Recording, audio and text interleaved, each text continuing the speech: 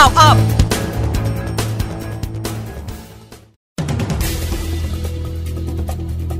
17นาฬิกา3นาที มติปปชฟ้องทักษิณผิดมาตรา 157 คดีทุจริตฟื้นฟู TPI ยื่นให้สารดีกานักการเมืองแล้ว 17นาฬิกา12 นาที นายกรัฐมนตรีมอบเอกสารสิทธิ์ในที่ดินทำกินให้กับผู้แทนชาวบ้านจังหวัดบุรีรัมย์ พร้อมระบุยินดีและดีใจที่ได้มา เป็นนายกรัฐมนตรี 4 ปี ไม่เคยเห็นคนบุรีรัมย์ทะเลาะกัน 17นาฬิกา28 นาที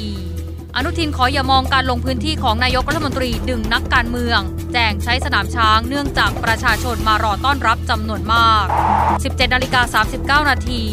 ที่ประชุมกกรมองเศรษฐกิจไตรมาสหนึ่งขยายตัวร้อยละ4 คาดทั้งปีโตร้อยละ4ถึงร้อยละ4.5 ส่งออกร้อยละ5ถึงร้อยละ8เงินเฟ้อร้อยละ 0.7 ถึงร้อยละ 1.2 ล่าสุด 17นาฬิกา45 นาที จังหวัดเชียงใหม่ตั้งคณะทำงาน 2 คณะแก้ปัญหาบ้านพักตุลาการขณะเตรียมขอเข้ารังวัด 10 พฤษภาคมนี้ และเร่งฟื้นฟูป่า 27 พฤษภาคม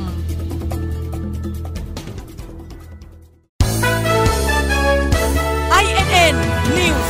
Round Up